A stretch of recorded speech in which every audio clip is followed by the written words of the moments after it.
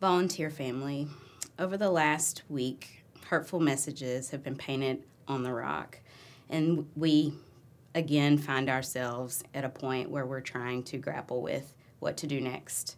In talking with students, they've expressed fear, anger, sadness.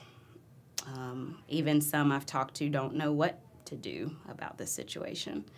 As administrators, we want to have all the answers, and as community members, you likely want us to fix it.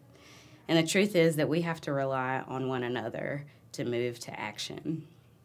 Over the next days, weeks, months, we recognize that there are things we have to do to sustain change. And we need you to help us, to be a part of the conversation, to help us with solutions. Right now, though, the most important thing is that we're taking care of one another. There are people in our community that are hurting.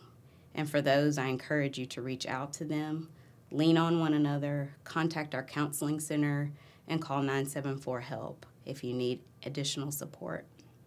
Finally, I would offer that we want to hear from you. We need you to help us.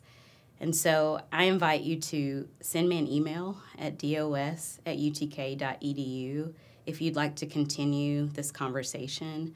But I can't stress enough the importance of us as a community being a part of the solutions.